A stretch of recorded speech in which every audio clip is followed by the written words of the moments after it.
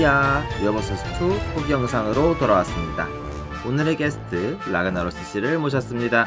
불의 세례를 받아라. 유하버서스 1이 채널 1위 영상으로 등극하면서 많은 관심을 보내주셨습니다.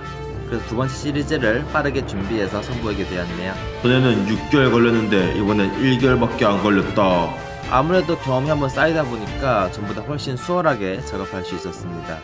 대본도 일주일만 썼고 자료를 모으고 편집하는 것도 더 체계적으로 작업했네요. 영상 퀄리티도 더 좋아졌다. 그동안 편집 기술도 더 늘었고 공격 효과나 효과음도 더 추가하면서 다채로운 영상이 나올 수 있었던 것 같습니다. 새로운 유형 게임인 크로스 듀얼이 출시한 것도 있었네요. 예고편을 올리고 다음날에 크로스 듀얼에서 VWXYZ 드래곤 캐터펄트 캐논을 출시했고 운 좋게 10연차 한 번에 뽑아가지고 VWXYZ 합체 장면을 추가할 수 있었습니다. 원래는 이 부분에 원작 장면을 넣으려고 했는데 어, 크로스듀얼 쪽이 훨씬 더 박력이 넘쳐서 좀 더 잘 어울리더라고요. 영웅 변신 카드를 잘 활용했다는 평이 있다. 뿅! 위대한 마우스 리노를 변신하면서 직접 리노덱스 코스프레를 했고 라그나로스를 변신하면서 와우 15주년 소장판에 있던 라그나로스 statue를 활용했습니다. 코스프레가 생각보다 잘 어울려서 재밌게 촬영했네요. 하지만 아쉬운 점도 있었다. 대본을 빨리 쓰기도 했고 XYZ 덱에 대한 숙련도가 낮아서 그런지 대본에 오류가 좀 있었습니다. XYZ 컴바인 효과는 한 턴에 한 번 쓸 수가 있는데 두 번 쓴 적이 있어가지고 Z메탈 캐터필러를 꺼내지 못했고 이로 인해서 묘지의 몬스터가 4장이라 탐욕 항아리를 발동하지 못하게 되었습니다. 욕졸을 써가지고 어리석은 매장과 탐욕의 항아리를 들어가는 걸로 고쳤는데 이때 욕졸의 demerit를 고려하지 못해서 다시 욕탐을 쓰는 걸로 고쳤습니다. 그리고 V 타이거 제트를 소환하고 바로 W 윙 캐터펄트를 장착하는 장면도 사실은 오류입니다. W 윙 캐터펄트를 소환한 뒤에 장착해야 되는데 VW를 한 턴에 소환하려면 hand가 없는 상황에서 조금 힘들더라고요. 결국 그냥 진행하기로 했습니다. 근데 전에도 말했지만 세계관이 달라서 괜찮습니다. 재밌었으면 됐지.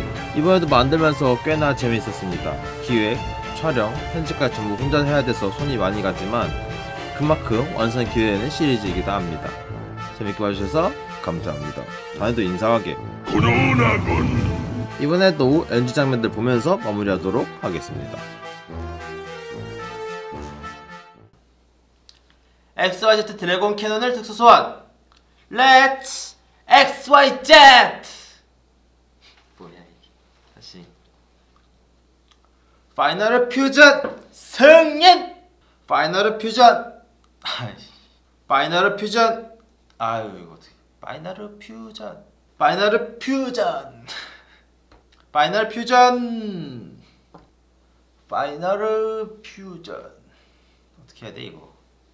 Final Fusion 승!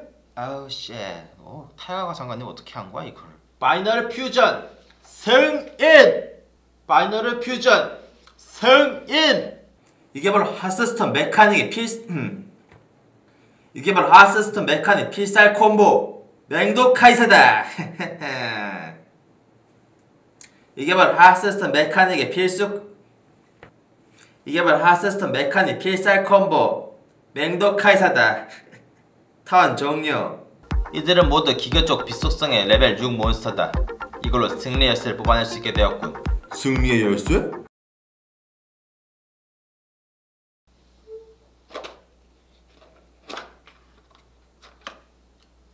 사이버 드래곤 인피니티 발동 승인 사이버 드래곤 인피니티 셀프티 디바이스 릴리브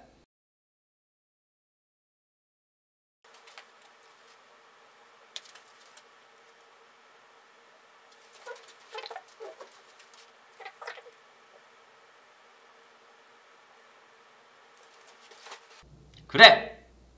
그래. 그래. 청지기야. 아니 청지기가 아니지. 그래.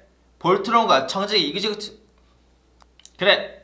볼트론과 청지기 이그제큐투스를 전부 파괴. 그래. 볼트론과 청지기 이그제큐투스를 모두 파괴